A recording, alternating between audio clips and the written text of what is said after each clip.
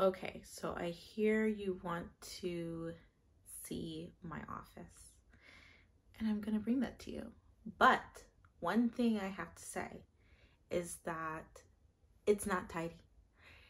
It's not super tidy. I have not had a chance to really clean my office since I moved into this space and it's a bit, it's just, it might trigger some people. So if that is you and you like neat stuff, you may not like this video. But let's just get started and I'm to show you my creative space.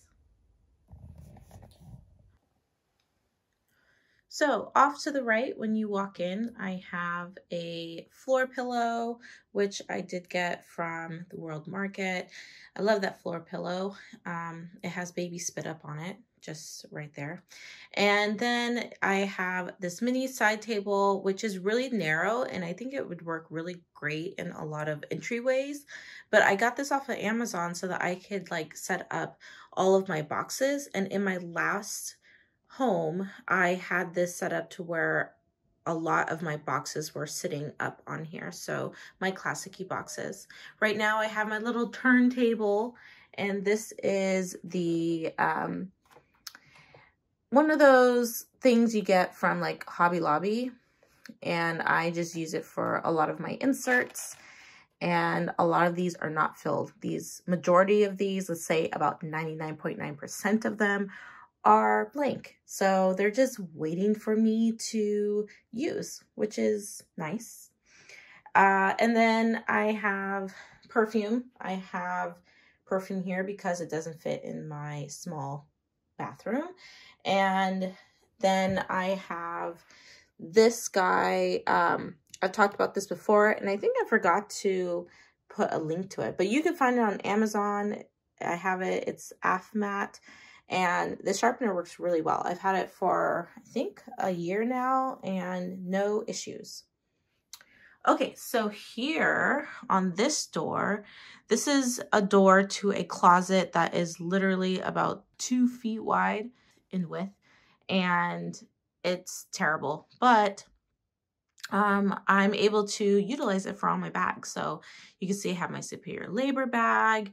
I have my um, Galen leather bag. I have a Chic Sparrow bag and I have my little summer hats. And then these two bags are, um, well, this one I talked about recently in a video.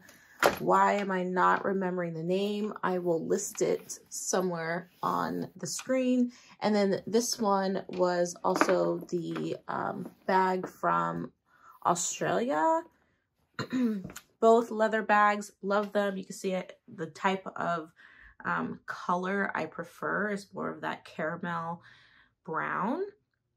Anyway, so that's where my bags hang. I got the hook from Amazon and it works pretty good. So moving on. Oh, and by the way, behind this closet, you don't want to open the door. This is the type of closet that has stuff that could literally fall out because it's so tiny and it's so stuffed. So moving on, I have my wall of wonders. Um, this is the wall you've seen many of my intro videos to, and I love it. I use the pegboards for uh, for a lot of like hanging items. Um, when I first got the pegboards, I didn't really want to use it for decor. It was meant to be used uh, for all of my art materials. Now, I don't paint as much as I used to, pretty much not at all in the past year or so, which is really sad. So I'm still able to use it for like my pens and markers and then some of the washi tape, but I do use it to hold a lot of my superior labor bags. So bam, bam, bam, bam. Those are there. And I love how I could utilize uh, like the different inserts that they have on this wall. And it's just working out for me. And you see some of my kids' artwork on here. They continue to, to uh, create things and want me to display them in my office. So that's where they go for the most part. What else do I have? These bags, my uh, Superior Labor bags here are, this one is empty. And, um, and then I have some artwork from my kindergartner. And I have a lot of pens and pencils here. Actually, I keep these here for my kids. So whenever they lose their millionth pencil, I have extras for them to reach for. I have some of those acrylographs and then some of those Zig clean color markers. And then Tombows are up here and those twin, those twin, you call them? Twin tone markers. Whoops, let's get the camera up. Twin tone markers are up here and then some of those Posca markers over here. So got them all. These were being used a lot more when I was doing more artwork, which I don't do right now. I think I'm just in that phase where I just don't have the time. So I have to really pick and choose the things that make me happy at this moment. And um, that is like planning, journaling, my fountain pens. Um, this bag is empty but I put it here to store because it does get lost when it's on this rack. And then the one below it is my more recent bag. And these are the extra smalls if you're unsure about Superior Labor bags. These are extra smalls. I think I have a video about the sizing of these bags, but hopefully this kind of gives you a look of um, how big they are. So this one, I have a lot of my empty fountain pen uh, cases in here. So you'll see Euro, Euro, what is it? What is this one called? Euroligu. Yeah, I was, I was getting there. And I have Superior Labor. I have some more Superior Labor and um, Esterbrook. Um, what are these called? These are rickshaw. So I put my empty ones there and I like to put the smaller bags there just because they fit really well in here and you can see how much can fit in these little extra small Superior Labor bags, the canvas bags. Um, on the trays, I have washi tape. I also put washi tape on these little wires here and washi tape on these hooks up here. I have the little Hobonichi bags. I got the same one. It's like, really? But anyway, I got two of those.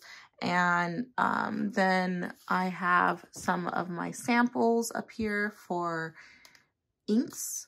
I have another Superior Labor bag, which does have a lot of washi and PET tapes in there. And then artwork, I have that um, that bag from Apolis. Remember when the Apolis bags were like really popular um, on Instagram and with the planner community? I got one and then when I moved, all of my paint pens spilled on it. So it's not as aesthetic looking as I would prefer it to be, but it's it's hanging in there. It's hanging in there. I have no idea why I got the super small size. I mean, it can hardly fit much in there.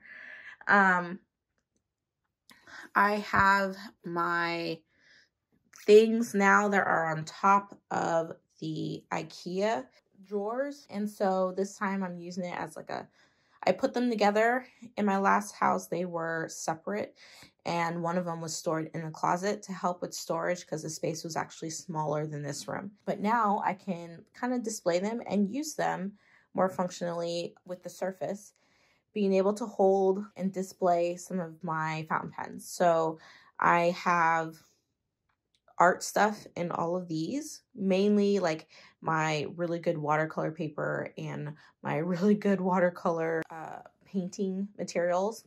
And um, and then on this side, I have mainly um, some of, well, that's where all of my inks are stored. So not in all the drawers, but in majority of the drawers now. So if I were to reach down, I'm trying to avoid having to move the camera too much. I don't want to make you guys seasick, but that's drawer one, two, and three. So now I have these really cool acrylic boxes and they came in a pack of three. So I have three of them. Um, so you see two of them right now on this side of the room. And I really like them because it's like a little case, you know, like you go into a, a store and you see trinkets in a case and it just makes me smile and it makes me really excited. I don't know. Whenever I walk in my room, I feel like I'm I'm going into like a museum of really special artifacts, special Brittany artifacts. So um so in this one I have my Sky Bambi uh what do you call that? The her new like case. This is the medium size and then I also have her um it was her accordion case thing as well. These are really easy to open and they do have a magnetic little closure there for them to kind of go close, but it's not because of this because of this metal box. I have that in there. I have some print on stickers and a couple of notebook covers with some notebooks in there. And then I have the um, what do you call these? The Toyo, Toyo boxes.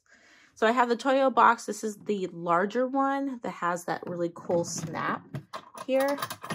And I have it open so that I can display stuff inside. And the cool thing is that it fits in this, in this box, this acrylic box. So next over are the acrylic boxes you can get from Hobby Lobby. And this is when storing your uh, washi tape in acrylic boxes back in like 2018 was really popular. And so I did that. Um, you have to be careful because if you don't use your washi, they some of the cheaper ones tend to not stick anymore. And then it ends up sticking on itself. And since the whole thing has one side that's sticky, it's just you're almost never going to use it again. And I'm pretty sure I have some of those. I did get rid of a lot of them that were like that. But now that I haven't really touched these because I'm all into the PET tapes now, they're just there for display.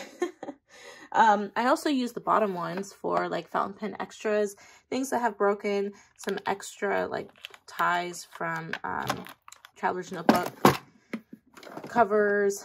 Um, I recently actually cleaned this. So it used to be a lot fuller with stuff, but now it's more like for fountain pens and writing materials there. I have my big cases for fountain pens and half of these are full.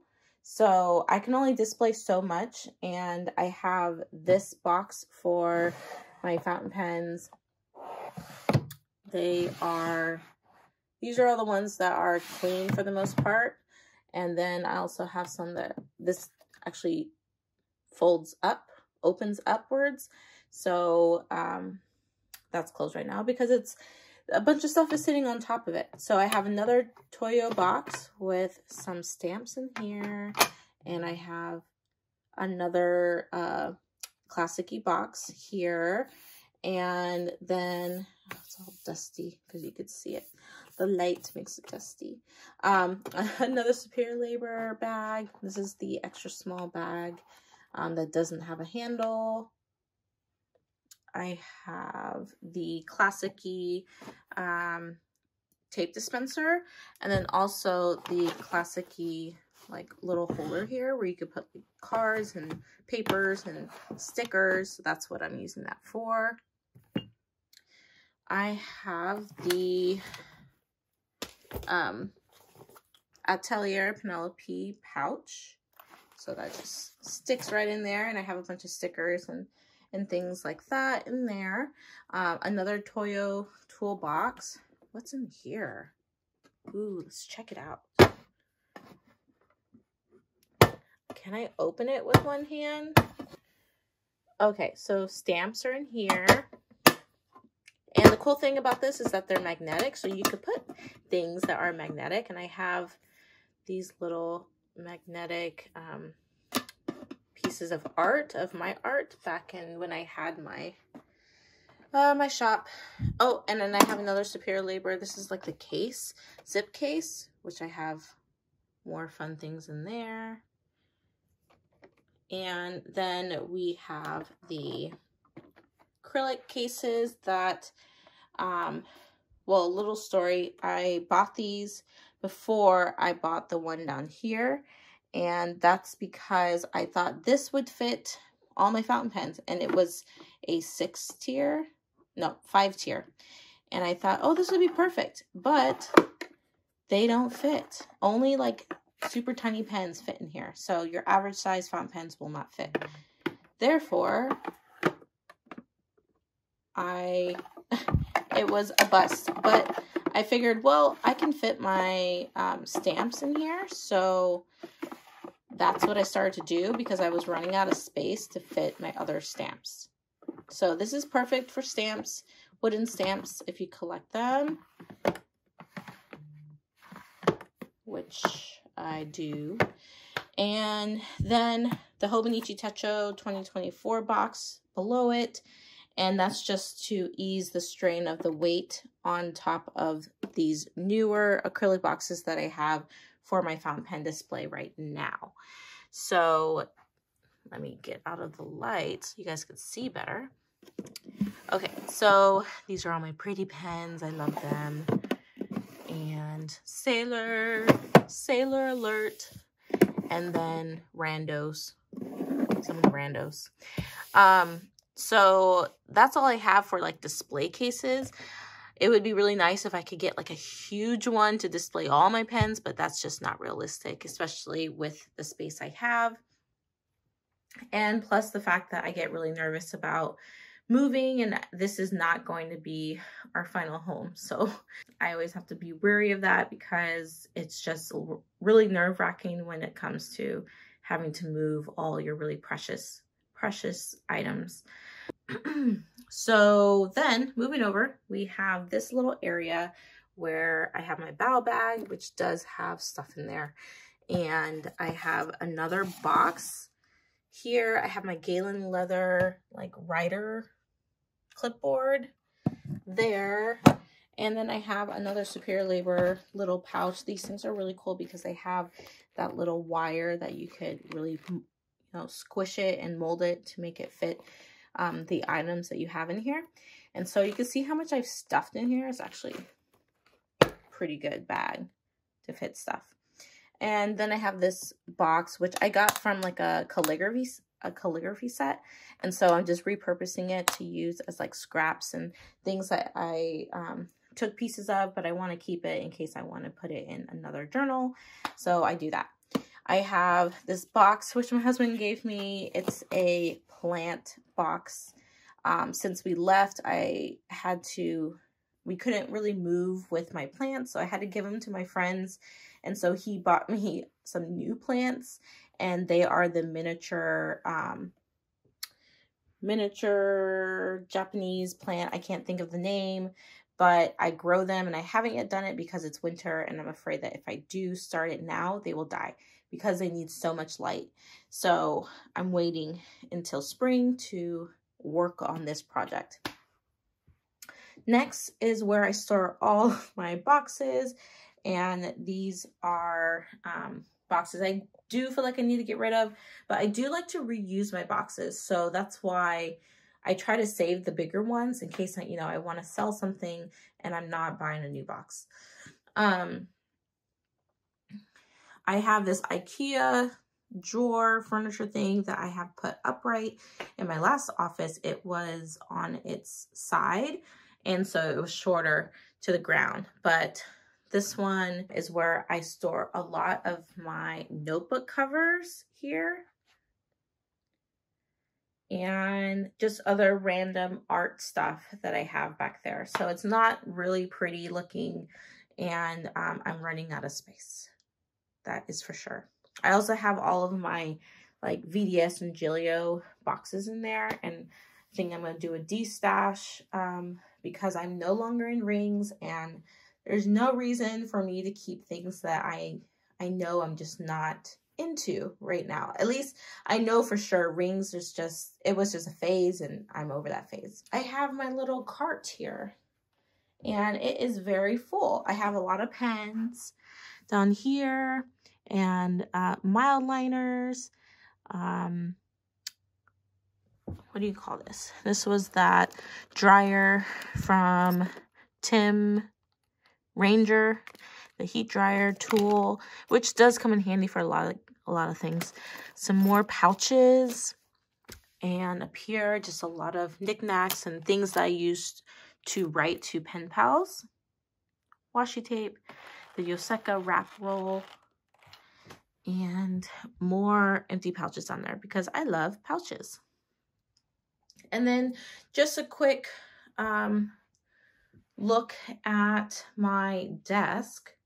So I did get myself a standing mobile desk and um, it's right here, kind of like in the middle of the room. And then off to the side over here is my work desk where I have all my work computers. So no need to look in that direction. But I decided to make it like an L shape. So it's like this way and my other desk is this way. And I really like it. I can face the door. So uh, my kids are across the way from me and I can watch them if I need to from inside my office. And then I could stand in my office, which is really nice to have the ability to do that. Um, some of the other things, I have my third acrylic box up here, and that has more of my recent newer planners and Hobonichi stuff for 2024. Yay, 2024. And um, another acrylic box with some of these stamps, some random fun goody things that I got from a lot of pen pals actually. And I have my ride or die canvas uh, little setup here. This thing I think is was a really good investment, especially when I was doing more artwork pieces. I mean, I use this every day or every time I am doing a YouTube video. So that is very helpful. But I've noticed that some people are saying that it's it can it's getting loose over time. It's just not as sturdy. But I think um, for the price and for how much use I've gotten out of it with my videos and having my phone just sit on here and watch me on my desk, um, it's it's been like it's I've gotten more than my money's worth. And so I'm really I really love this. I mean the fuse for the light hasn't gone out or anything like that. Oh my gosh, knock on wood. I hope it doesn't go out. I've left this light on like all night before, multiple times, because I just forgot about it. Um, the light is very strong. It can really light up a whole desk here. So if you're ever wondering about it, I think this is definitely a uh, piece, a staple in my filming for YouTube. And it definitely beats one of those handheld like type of things that connect to your your desk. That's just my my two cents there. And then on top of my desk, I have this acrylic thing which I'm able to put my computer on top of and then just another superior labor bag because I love superior labor. Um, and then if I go around, I have my chest of wonders in here. It's a lot of my old notebooks that I used. Let's see. Let's open it. Can I open it? Oh,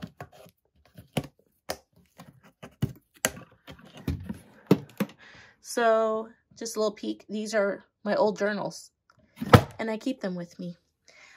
Then I have another little rack. This one I got from Amazon. Not a huge fan of it. It's a little clunky looking, but it does the job. I have like a lot of my pencils up here, which mainly my kids use nowadays, and um, some old stamps a lot of my old stickers, and I have a lot of unused notebooks that are not traveler's notebook size.